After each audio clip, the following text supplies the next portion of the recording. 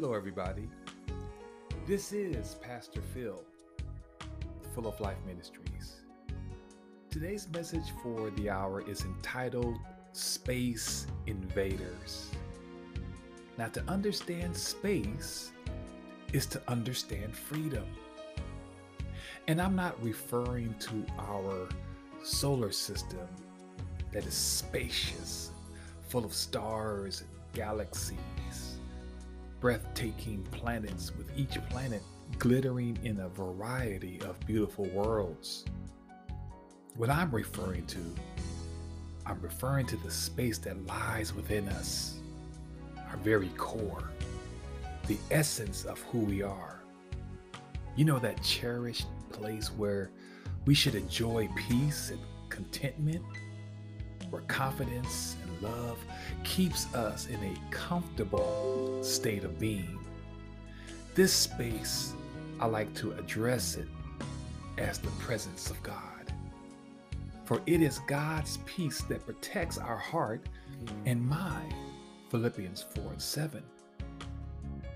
But when we allow the pollution of sin to invade our space, it changes our inner atmosphere, causing us to wander in the wilderness of life, never enjoying our land of promise. The Lord has provided a way for us to clear our space so we can enjoy life and life more abundantly. John 10 and 10. Psalms 51 and 10 tells us, Create a clean heart for me, God. Put a new, faithful spirit deep inside me. Asking the Lord to remove the clutter of sin requires a confession. He will place a new, faithful spirit deep inside of us.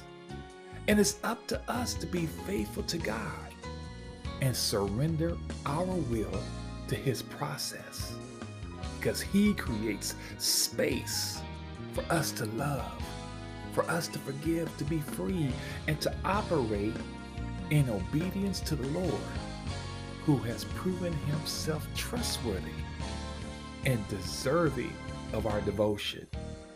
So when anger or jealousy or envy or anxiousness or fear or anything that has the opportunity to keep you in a bewildered state, look to Jesus, for he is the God who destroys our space invaders.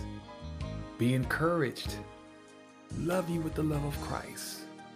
Talk to you soon. God bless.